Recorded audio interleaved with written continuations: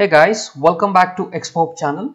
Myself Rakesh and today we are going to learn the new question around the UiPath certification practice preparation series. So let's get started and understand this question. Before this, I hope you guys have already come to the playlist of our channel and started following the UiPath certification playlist which I have created and right now there are already 21 videos which I have already posted. Alright, with that, let's get started and understand this question entirely. A developer is automating a process which retrieves technical product details based on user input. Okay, he's trying to automate a process and the job is to retrieve technical product details based on the user input. Okay, the process steps include asking the user for a product name. Let's say you are entering a product name. For example, uh, let's say Samsung TV uh, you have entered a product name or a phone. Let's say iPhone 13 you have entered. Using the input as a search string in an online catalog online page or a catalog whatever you call it. So on that online web page the moment you enter iPhone 13 what would happen? It is going to show you the technical product details. How much RAM how much in a tabular format let's imagine. In a tabular format it's going to show all the technical details of that specific product. So your third step is scraping the structured result list. So once you see, so you type the name of that product in the search option and hit on enter. And after that you would be shown a details of technical uh, aspects of that product. Okay? And then you need to scrape it. Scrape the structured result list. The developer discovers that title of search result page is generated dynamically. So the moment you are searching for a specific product, every time the page title keeps on changing. Okay, using the search string. So here he is using a the developer is using a data scraping because at the end you need to scrape the data, structured data from the web page. So he is, he is using a data scraping. Based on the graphics, what is the recommended way to ensure the robot locates the correct page. So every time the page is changing, for example, you are typing iPhone 13, there is a specific page link. If you are typing uh, Samsung TV, then there is a different page. If you are looking for a different phone, then every time the iPhone 12, again the page link changes. The title of this will change. Okay, if the, uh, the title of the page is changing, so what should you do?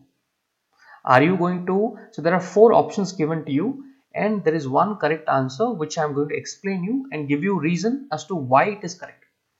So the first option fine tune the next link selector property of data scraping activity. So to understand this I have already created a background sequence. For example here the user is asking for an input dialog box. So all these options right um, for example if you go to data scraping option there is something called you might have not seen it. If you select this extract structured data you have something called next link selector. So this question is talking about this next link selector.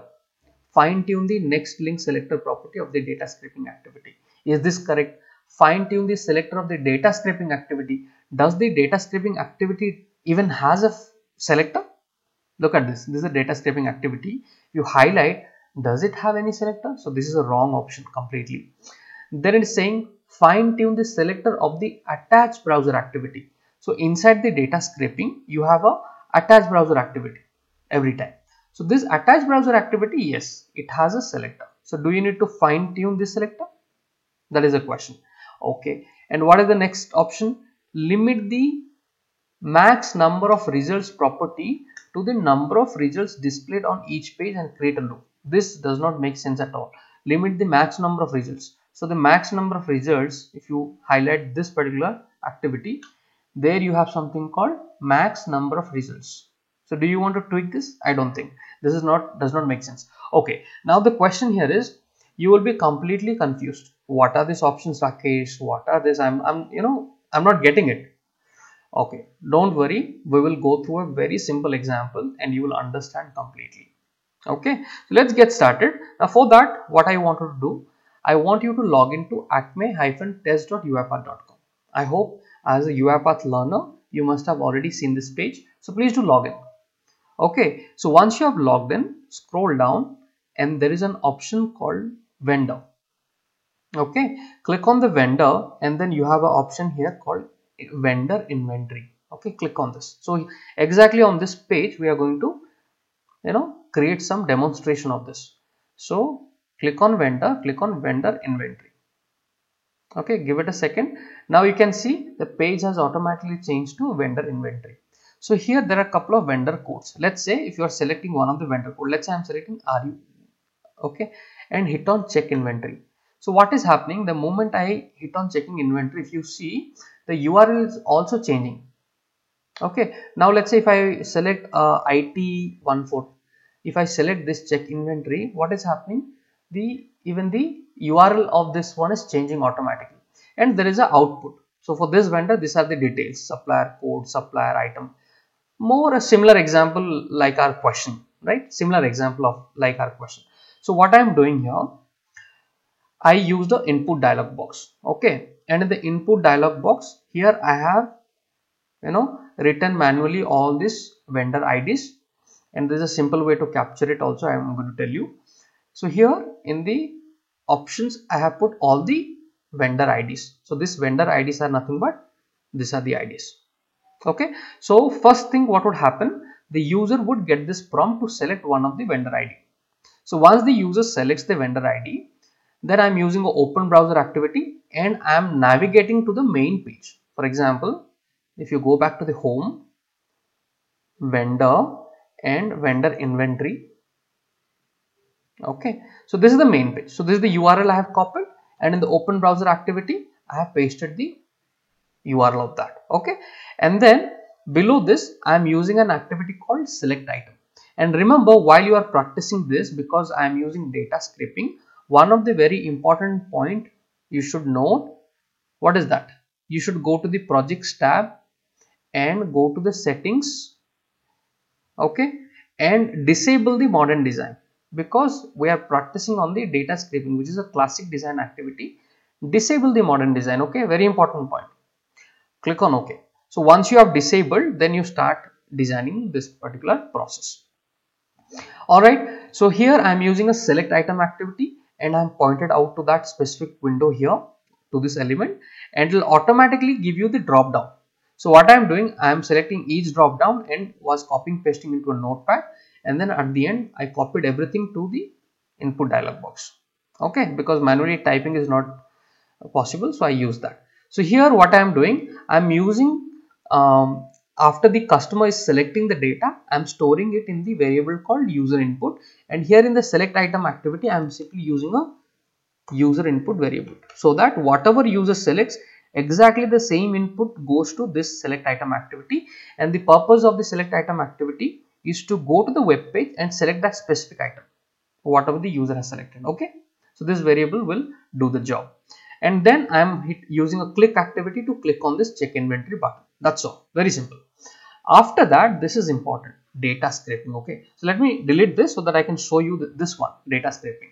So here what i am doing let's say i have selected a vendor. Let's say this one the first one i have selected. Okay? So this is the page which would appear. Now what i'm going to do I'm going to hit on data scraping and then hit on next. And I'm going to select one of the item. And it will say you're selected you have selected a table cell. Would you like to extract the data from a whole table? Say yes. So what would happen? It will automatically scrape all the data from the table if you can see it and then hit on finish. So what would happen? The moment then it's asking is the data spanning multiple pages? Is the data available on multiple pages? No. So i will say no done. So the moment you do this the data scraping panel will appear automatically. All the activities will appear automatically. So in this it is using a attach browser activity and it is using extract structured data uh, activity extract data activity. Okay these are the two activities being used. So now this first activity attach browser activity if you highlight the selector see the data scraping activity doesn't have any selector okay? Within the data scraping um, uh, within the data scraping sequence there is something called uh, attach browser. This is not even activity it's a sequence okay? So within the sequence there is something called attach browser activity. This has a selector. Now if you look at the selector has something called title okay? The title is vendor inventory vendor inventory. So let's do one thing. Let's go back to our web page and let's select some other item. Let's say i'm selected r00 check inventory. So what is happening? The url is changing. So the url has changed. But if if you hit on validate it remains still val valid right? Let's say let indicate on element. Url on the top has changed but the title is remaining the same. Look at it. Title and url there are two different things. So title remains one hyphen vendor inventory even though you are changing the page let's say we i am changing the page to something else. Let's say uh, fr this vendor. So again the title url has changed. Okay. Now if you hit on uh, open the selector uh, indicate element and try to indicate this page. See the title remains the same. Even the url changes the title remembers the same. So here in this example the title does not change. But as per our question if the title is changing if you go back what it's saying the condition is the developer discovers that the title of the search result page is generated dynamically. That means the title is changing every time. So if the title changes where would you attack? You would always attack the selector. You will put a star or something like that. So this title you will put a star. Wherever it's changing you're putting a star there. So that any title it will start working. So this is the answer guys. So you will be working on the title of the the selector of the attached browser activity and you can modify the title if the title is changing. Okay so this is the answer. Okay so first of all let me show you this so that you get it. And then this is using the extract structured data. And this has got multiple properties. For example maximum number of results next link selector. So these are the various options given. Are you going to use them? No. Next link selector means if the page is um, having on the result is there on multiple pages then you will go for you know spanning on multiple pages when you say say yes then it will take that indicator where it should click. There will be a number there will be a next button right? There it is going to have that selector. So you're not going to modify any of this okay? So your answer is if you go back your answer is this. You will fine tune the selector of the attached browser activity okay? So that is the answer. But after this see after this what would happen? After your data scraping the data gets stored in the variable called extracted data table. Now let's say i want to see this output. What i will do i'll use a output data table activity below this. Okay. And um, and here i'm going to write extract data table. And then let's create a variable and give it a name called text. Simple. And then I want to see this output how the output is coming so in this example the title is not changing. Uh, okay that's fine. But if the title changes you got to know where to attack. And here I'm going to say text. Save it. Let's run it. So try to do this experiment so that you will understand. Only when you see all these activities how it is capturing the selectors you would be able to understand okay that is where I should target. So let's see. So before it starts running let me close this page okay.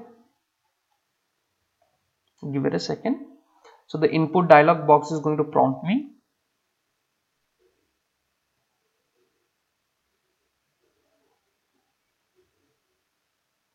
Okay the prompt has come. Let's say i'm going to select the very first option okay? Click on ok so what would happen? It will open the main page.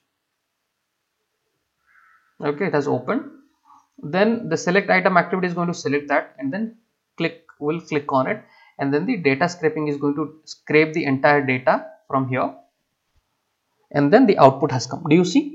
De32476 so all this output has come. Okay if you see entire table has been extracted. So this is fine. Let's say if i run it again and try to select a different vendor this time. So let's debug it again so getting it. So if the title of the page is changing you have to attack the attached browser activity and change the selector over there. So the okay let's see let me select let's say it14 i'm selecting okay? Okay before that did i close that page? Let me quickly close it. Okay so you can see it has selected. So the uh, output look at the output below supplier code it all IT and the entire look at this output and the URL okay so it has extracted the data properly. Now if the title is changing because in our case the title is not changing even the URL is changing the title remains the same. That's why we did not do any kind of modification. But just to show you one demonstration if it changes then where should I attach? So I should come to this attach browser activity within the data scraping panel or sequence and then change the selector over here. Put a star mark wild character right? So that it understands where to scrape the data from alright guys so you got your answer. You, your answer is fine tune the selector of the attached browser activity.